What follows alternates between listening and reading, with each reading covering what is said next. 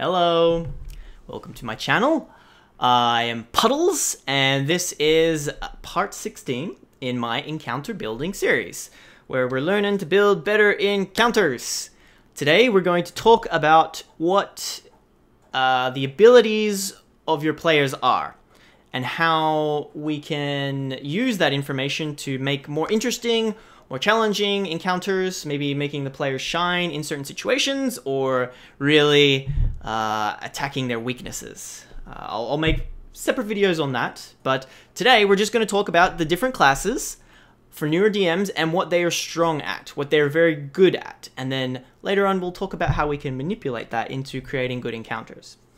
Uh, now, just a brief disclaimer. This is generalization. I understand there are split like sorry there's multi-classing there are heaps of different archetypes which make different classes different in ways that uh, aren't general but this is a very short concise general way of describing each of the classes so without further ado ado further ado yeah that's it uh, let's jump in shall we so I'm just going to go alphabetically like it is in the, the player's handbook. And I'm just going to quickly, quickly talk about each of the classes and what they're really good at. Barbarians, number one. Oh my god, I've already screwed it up. Here we go. Barbarians, they are tanks. They are good at single target damage. They have rage, which means they take half damage, which is insane. It is very, very good. I personally think they're the best tanks in the game uh, because they take half damage on most damage types. Uh, they do a lot of damage because they have reckless attack and they get extra rage bonus damage, but it's usually only to one target. Uh, they also get mobility bonuses as they level, which means they can move further than most other uh, classes, meaning they are also mobile uh, but they also, most of the time, have to get into the face to actually do damage, so they need that mobility to be uh, effective. Uh, bards, they are a support class, they are healing, they can control with different spells. Uh, they're very versatile, so different bards can fill different roles in different groups. That is one thing that you have to be aware with. So when you are thinking about your group, uh, you will sort of have to think about what role that bard is playing. Are they the healer? Are they sitting in the back lines supporting with bardic inspiration? Uh, or are they uh, like casting control spells to uh, control the battle? Um, yeah, they're very versatile. That's one thing with bards. They're not very like they can be strong in certain ways, but they're usually just a jack of all trades, good at everything, uh, but not crazy good at one thing like some other classes are. Uh, clerics, support, healer, tank, control. Uh, they can tank because many of the different subclasses get uh, armor that makes them super tanky and they can heal themselves. Uh, it, it, depends on the divine domain that they choose. So again, very versatile. They're very strong against undead. So if you want to like have a cleric player shine, put them against undead, and they will just naturally do that because they're good against that. They are the go-to healers of the uh, class groups. Uh, and yeah, they're just, they're all around good. Some can cast fireball, some can tank, some are like frontline fighters. It all depends on what domain they pick. Druids are, I'm just going to scroll over because you will see how stupid they are. Druids can tank because they can turn into animals. They can heal because they have spells. They can do single target damage with either the wild shape form or attacking with weapons with Shillelagh, or they can use spells. They can do AoE damage because they can cast spells. They can support with spells like Faerie Fire and healing and things like that, and they can also control. They are ridiculous. Druids, I I've played with so many druids and they're just not bad at anything and they're extremely good at most of the things that they do. If you've got a druid tanking, they're going to be a really good tank because they have a huge health pool from all of the different wild shaped creatures that they can do. Uh, they're very versatile because they can turn into animals and they can cast spells and do all of these things in unison.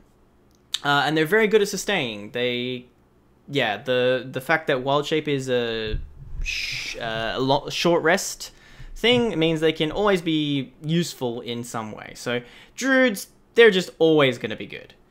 Uh, fighters, they are considered tanks and single target damage. They, yeah, they're just all around good. They, and there are many different ways to build fighters as well. They can be ranged, they can be up close. Uh, you can even have mage, like Eldritch Knights. Uh, but they things to think about when uh, think building encounters for our players is they have explosive damage with action surge. They can do two actions in one, uh, which is if you if you've got one big bad guy and your fighter goes first and he has he's level five and has two attacks, he can do four attacks in the first round, which could you know is something you need to think about. Uh, the sustain with second wind and just general uh, like tankiness uh, and they, they have options between being ranged or melee. And obviously, if you've got a fighter in your group, you're going to know whether they're ranged or melee. But this is, again, a generalization. Monks. They're very good with single target damage, and they have control because they have things like Stunning Strike. They are mobile. They're probably the most mobile in the game because they have uh, they have uh, Step of the Wind, which they can use to dash around with a bonus action, and they have more movement than anyone else. Um, they're pretty good at damage, uh, and they have decent defense when you put ki into it with de- defense and deflect missile. If they're ranged attackers, monks are probably the best. But it's also if you've got a monk in your party and you're never attacking the monk with arrows, like it's it's it's an ability that they never get to use, and it's it's something that they might get a bit frustrated about as well. Uh, so again, knowing the abilities of your players is important because you you can do things to make them feel special in, in combat and they get to actually use their abilities because you know what their abilities are and you target them because of it. Uh, paladins, they're good for healing with their lay on hands. Here's my finger. Here, they're good at single target damage and they're tanks. They have explosive single target damage with uh, smite. They can, if they crit something, they can do insane, insane, insane amount of damage. Uh, they're also very strong against undead. So if you wanted to um, have your paladin really shine in a combat, you would have them fight really strong, HP heavy undead, so that they can just unload smites into them. Uh, and they have very good sustain because their lay on hands, and obviously they're super tanky because of the armor that they wear. And they have different like buffing spells as well. They can be a support class if they need to be, uh, but you know, their their support isn't as good as other classes, so I didn't mention it. Ranger, single target damage. Uh, they are consistent range DPS. With the archer feat, they can do like they're consistently hitting more than other classes. Uh, you you might see uh, rangers that don't do ranged though. They could be up close tanky rangers. Uh, they're all rounders. They're very good at certain roles. They they're not so much like spellcasters or healers, but they can do healing. Uh, they're mostly like just in the back lines doing doing damage, uh, and they do have some control. Also very spell specific because they have to choose which spells that they they get each time. Uh, rogues are mobile and sneaky. If you have a fight and you don't give the rogue anywhere to hide, they don't get to hide. And like that's completely fine if you want to do that. But it's just something that you should be thinking about when you're creating your encounters. If you've got a rogue, is this an encounter that they're going to be able to bonus action hide in between rounds? Uh, if not, then you know perhaps your creatures are going to target them because they can see the the sneaky rogue. Uh, they have high single target damage if they can get their sneak attack off, and they have pretty good sustain when you think about their evasion and um, dodge.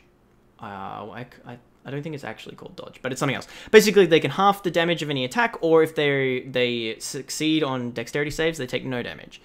Uh, but they're a lot more squishier than your your regular tanks. Like they're definitely definitely not a tank.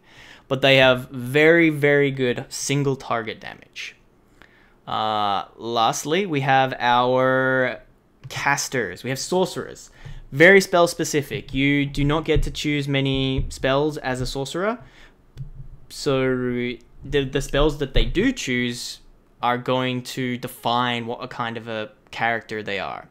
There's a very high potential for burst with meta magic. If they're twinning spells, or if they're hastening spells, or if they are um, forcing creatures to roll with disadvantage, they can they can do a, a lot of damage in one round, um, and they have pretty reliable AOE and single target damage. Um, whereas what warlocks, because they only get two spell slots, they're more consistent single target damage with Eldritch Blast, which when you get invocations onto it can really, really add up over time. Um, they're very short rest dependent, so if you really want to punish a warlock, you're just not going to let them short rest ever. Uh, but you know, is that fair as well? Um, they're very versatile. The abilities that they have can mean that they can sort of tank a lot of damage whilst also being backline casters or controlling with AoE spells. Uh, they're not as good at that kind of controlly stuff as wizards and sorcerers in terms of the spell casting, just because they don't have as many spell slots, but they can do all of those things. Uh, but they're mostly like really like controlled, efficient, consistent DPS. Um, and lastly, we have our wizards versatility. If you give your wizard like spell scrolls to put in their book, they're gonna have so much versatility. Uh, and also, just getting two spells every level means that they're going to have a lot to choose from. Again, spell specific because they have to choose their spells, uh, but they have more of an option to build that pool of potential spells. They're very reliable with AoE or single target. Also, depending on what school of magic they have, they can sort of excel in different areas of casting. Uh, but that's basically it.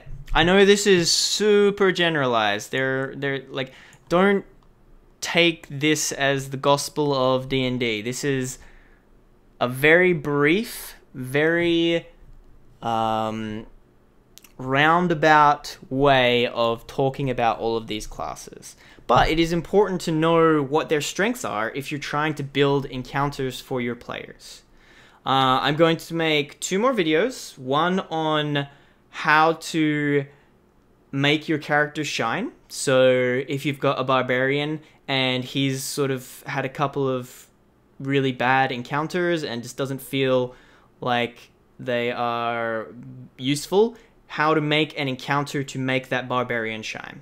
And then I'm going to give you a video on how to punish their weaknesses. If you've got a group that are just destroying everything, you've got one character who you can't do anything about, they're just destroying all your encounters, uh, I'm going to give you a video on how you challenge them. How, how can you uh, play to their weaknesses? Uh, and hopefully, this and those two videos will be uh, interesting and informative.